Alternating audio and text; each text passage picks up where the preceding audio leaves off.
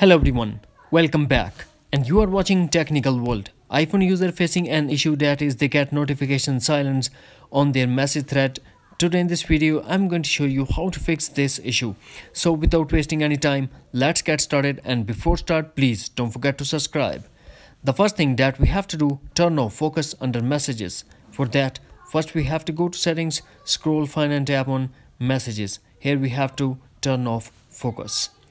Now we go for solution number 2. Turn off share focus status. For that, first launch message app. Now tap on contact that you see message, then tap on the contact name in the top. Now find and turn off share focus status.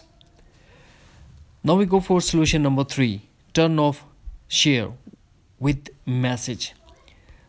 To do this, first we have to go to settings scroll find and tap on privacy. Here we have to focus and turn off messages if it's turned on. Solution number 4 turn off share focus status. For that first we have to go to settings then we have to tap on focus.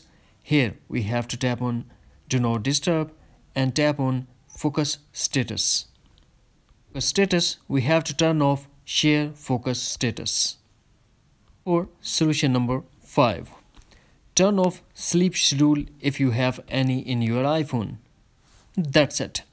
Hopefully friends, you found this video helpful so please don't forget to subscribe, like and share with your friends and family. Thanks for watching. Take care. Bye bye.